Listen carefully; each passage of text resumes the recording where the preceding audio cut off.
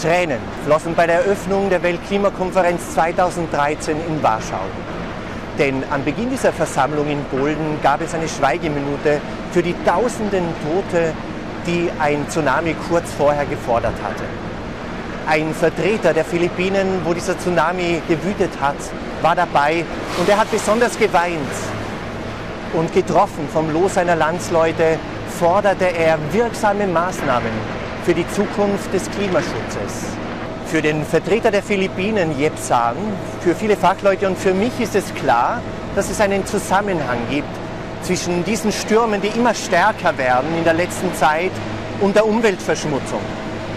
Denn der immense CO2-Ausstoß durch Industrie und Verkehr fördert den Treibhauseffekt. Dieser wiederum begünstigt die immer größer werdende Zerstörungskraft dieser Stürme.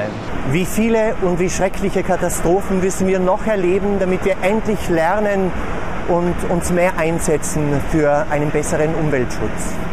Ich denke, dazu bräuchte es vor allem eine neue innere Einstellung zur Natur. Ich möchte da von Franziskus von Assisi lernen. Er fühlte sich mit der Natur liebevoll verbunden. Der Wind war für ihn ein Bruder, die Grille nannte er Schwester.